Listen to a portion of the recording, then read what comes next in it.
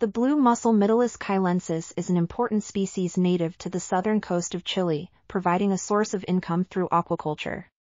However, this species faces threats from a variety of factors including microorganisms, pollutants, and environmental stressors. To better understand how these organisms adapt to their environment, researchers have sequenced the genome of M.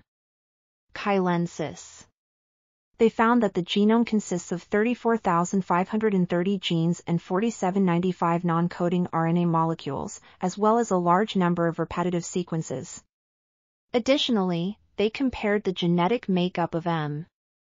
chilensis to another species, M. coruscus, and discovered that there are many genetic differences between them. These findings suggest that the blue mussels may have adapted to their environment over time and could provide insight into how to best manage the species for sustainability. This article was authored by Cristian Gallardo Escárate, Valentina Valenzuela Muñoz, Gustavo Nuñez Acuña, and others. We are RTCL.TV, links in the description below.